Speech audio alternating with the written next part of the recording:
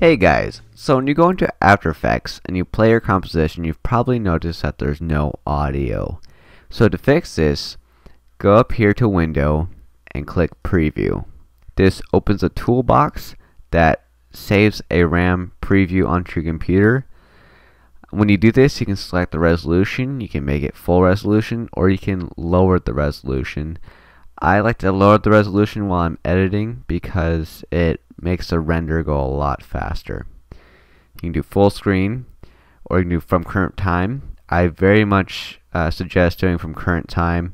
Otherwise, whenever you render and hit play, it will always play from the beginning of your composition. And if your composition is long and you want to hear a specific point in the song or animation, you'll want to have from current time. You can choose your frame rate. Um, skip, it will just render every couple frames and skip every couple frames.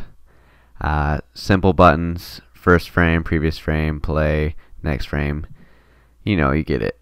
The main thing is this RAM preview button. When you click this, it will actually make the RAM preview. So when I do this, you can see it's doing its work here, and the green bar is showing you how far it's done. Now, when you go back, uh, you hit play, and it doesn't play the audio. So what you have to do is it's kind of buggy. It's kind of silly. I don't know why it's like this. We had to hit the RAM preview button, and then while it's rendering, you hit space.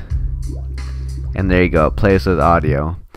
And if your entire composition is rendered out from this, if this entire bar is green, then anytime you hit the RAM preview button, it will play from whatever point. You don't have to render and then hit play.